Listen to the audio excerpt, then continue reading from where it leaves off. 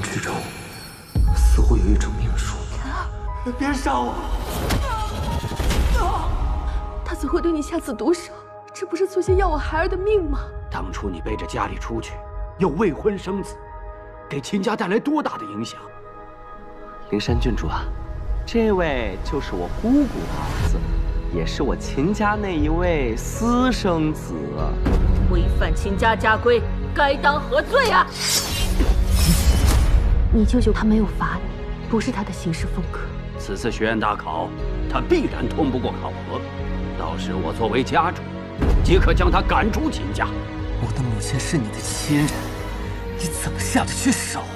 好了，送你上路。此子究竟是什么人？为什么会有如此厉害的炼气不可测呀！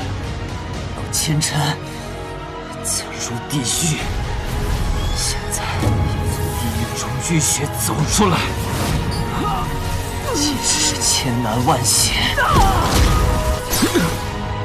我谢霄以天改命。